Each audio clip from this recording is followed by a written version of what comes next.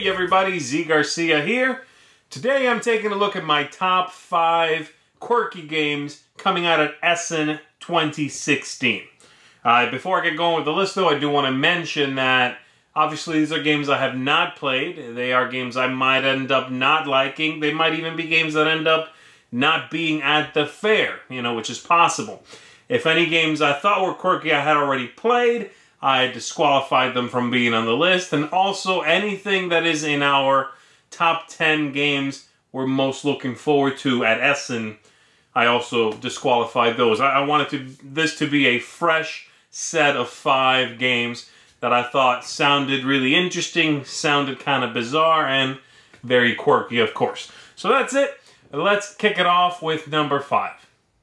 My number five is a game called Amice Cube from publisher Denko, and the designer's name is quite simply Dr. M. That's very mysterious.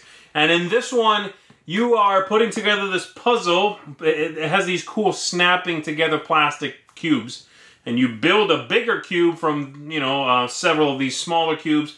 And then you are passing along your own pieces and then quickly trying to make the cube again with the other player's original creations, right? It's this speed puzzle, uh, sort of strange abstract game. Seems like it's going to be really fun. It's going to give me kind of what I want from that style of um, of puzzly game that is in which you are under pressure, you know, under a time limit. You want to be first. And it just seems really bizarre, and I like it. It's got a cool, made-at-home kind of look to it, and I think it's going to appeal to me. So that is my number five, Amis Cube. My number four is a game called Picassimo, like Picasso, Picassimo, from Haba and Carlo A. Rossi. And this one is a drawing game. It's a party game, it looks like. And in it, you are drawing a piece of a picture and then passing that piece to another player and so you are all trying to figure out what a, um, like you're trying to put together a drawing, basically, but you only draw a little piece of it, and then you put them together on the board, and whoever's the first one to figure out kind of what it is you're all drawing together is the one that wins. That's sort of what it seems to be. And I love those games that take a party concept and and do something cool with it. And this one seems to be doing something really clever and strange with good old Pictionary or something like that, you know. And it just seems neat. It seems like something I can I can play with the family, I can play with the kids, I can play with anybody, and we're all going to have a good time laughing and you know doing that joking about each other's section of a drawing and all of that. And oh my goodness, how could that possibly fit what I drew over here and all of that? So I like that concept. Seems like it's going to be a really funny one. That is Picassimo. My number three is a game called The Perfumer from publisher Big Fun Games, and the designer is Chu Lan Kao.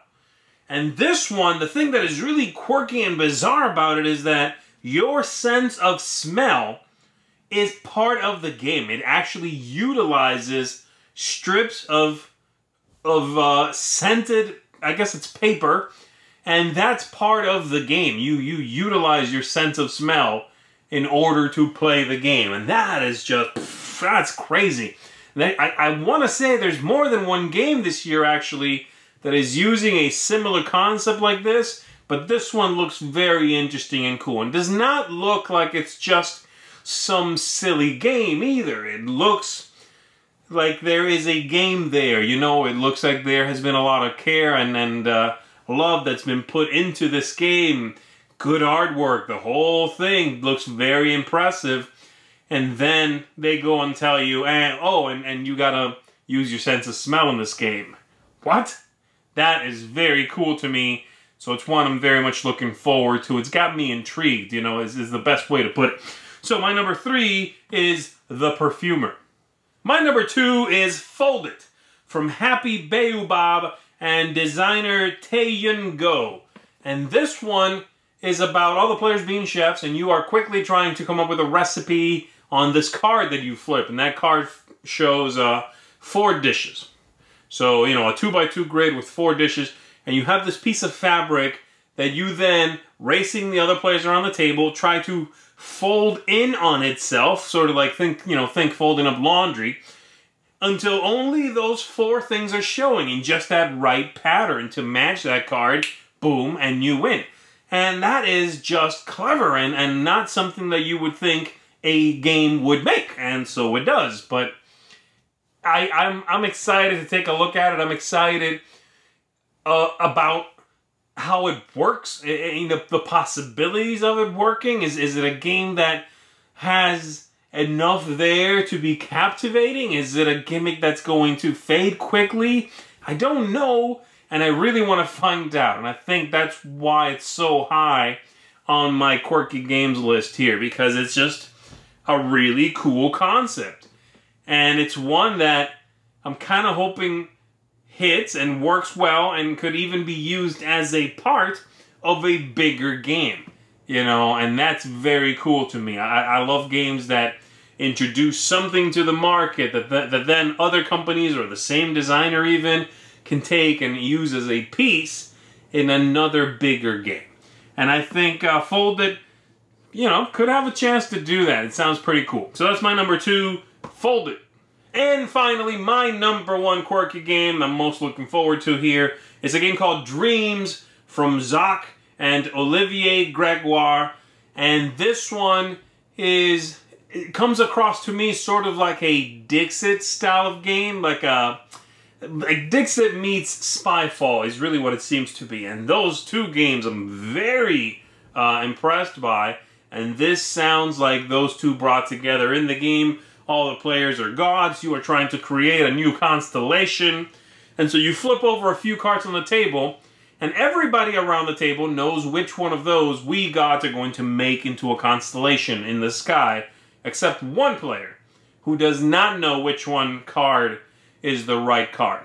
And they all have very beautiful artwork, think Dixit, style artwork. And you are going to take turns putting out onto a, a just a big round board, big black background, stones, you know, pebbles of different colors, but basically just put out a pebble and then the next player puts out a pebble, those are the stars. And the person who does not know needs to bluff like they know. You got to do something that is not going to make everybody else go, why would you play there? And so it sounds like it might be abstract enough, for people to get away with it, and I like that idea. And, you know, the, all the other players are trying to figure out who the fake one is. The fake one is trying to figure out which of the paintings is the one, you know, so you don't want to be too obvious either because they'll get it. Just sounds really fascinating to me. Gimmicky, completely gimmicky and bizarre, but this could this could work, and, and I'm really excited to find out. So that is my number one. Dreams from Zak. Good publisher, really cool concept, cannot wait. And that's it for my top five quirky games. Thanks everybody for tuning in. If you are going to be at Essen this year, come on by our booth and say hello. And I hope you enjoyed the list. I will see you again real soon.